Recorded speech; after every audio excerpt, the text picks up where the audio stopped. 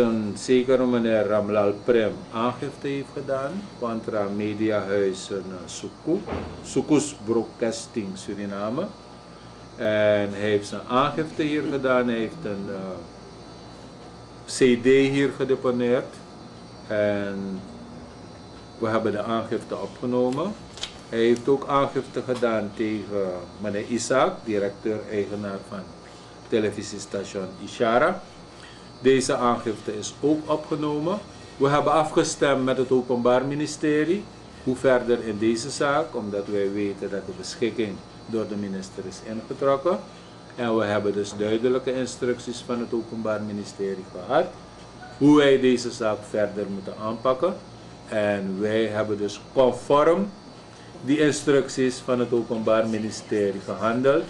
En uh, we kijken uit naar het resultaat daarvan. Wat zijn de instructies, uh, GPC? Nou, ik zou daarop niet willen ingaan, maar in elk geval de stukken moeten worden toegezonden naar een hoofdofficier van justitie. En uh, zij zullen dan verder bepalen hoe de zaak verder aangepakt wordt.